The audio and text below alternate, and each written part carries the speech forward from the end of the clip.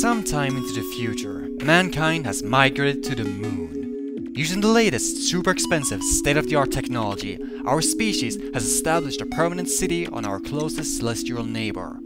Welcome to Newton City, everybody! This is a world where the smart and fortunate can soar to enormous wealth and power, while the poor and weak are left behind in the dust. This is a world where everything circulates around money, to the point that it will make the people on Wall Street look like socialists. This is the world of World End Economica.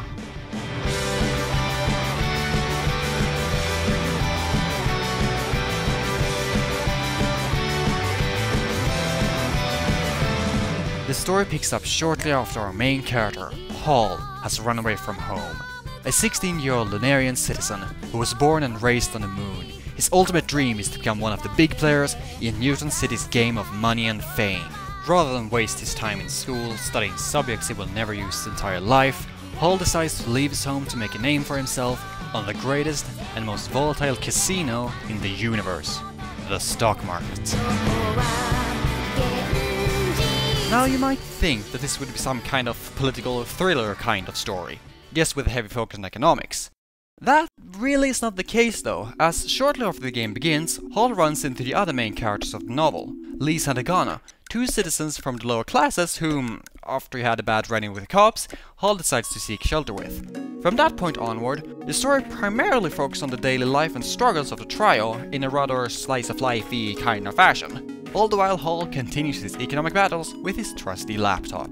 Perhaps the best way I could describe World End Economica is that it's Spice and Wolf, if Spice and Wolf was set in the modern world. Sadly though, this part of the game quickly turned to a major freaking drag, as nearly nothing happened in it for the longest time. A very big problem in World End Economica is that neither its characters nor the interaction between them are particularly interesting, so when the story only focused on them sitting around a table having dinner, it was just plain boring to read. It's also quite disappointing that the novel doesn't really take full advantage of its setting. I mean, it's set on the moon, the freaking moon! But it might as well just have been taking place on the outskirts of any semi-futuristic megacity back here on Earth, and it wouldn't have made a huge difference.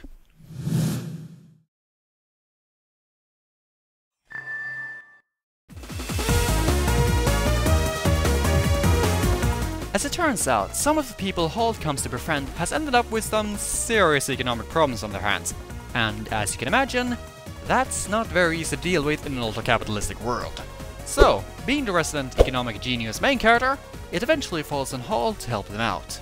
I very much like these parts, as the novel managed to present the act of freaking stock trading in a way that made it feel just as exciting as the battle sequences out of any shonen action series.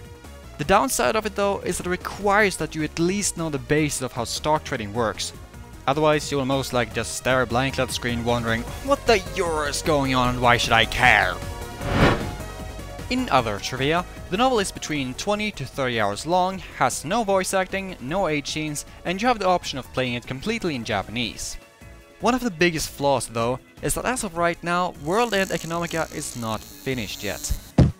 See that big shining episode 1 title? Yeah, it's there for a reason, to say the least, as this novel ended on one of the worst cliffhangers I've seen in a long time. Now thankfully though, there was recently a Kickstarter held by Sekai Project to have the other two episodes localized in English, so we should see episode 2 and 3 become available sometime next year. However, I still will not dare to run out and sink your time and money into this game right this instant. World End Economica is a visual with an amazing premise, but not so amazing execution. It has pretty bland dialogue, its characters are mostly uninteresting, and as a result, the overall package was just kinda boring.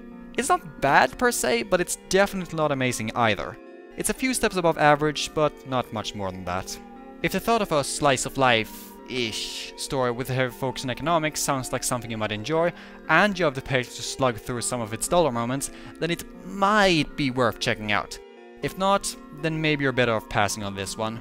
Among all the other amazing visual novels out there, there's probably something else that more worthwhile for you to spend your time on.